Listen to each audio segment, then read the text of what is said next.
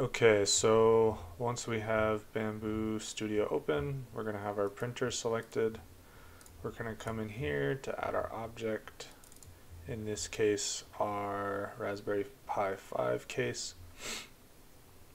Um, it's okay that it's not a 3MF file from Bambu Lab, we can still make it work.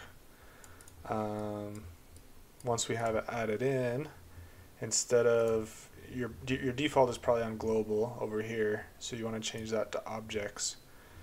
Um, and the 3MF file is divided into a bunch of different objects, and the creator on printables.com made it nice and easy. So you just delete whatever one you don't want.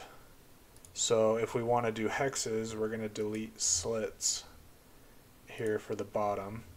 And you can, it, it doesn't look uh, like it worked, but once you slice it, you'll see that it did work. So then, same thing up here. If we want to keep hexes, we'll delete slits.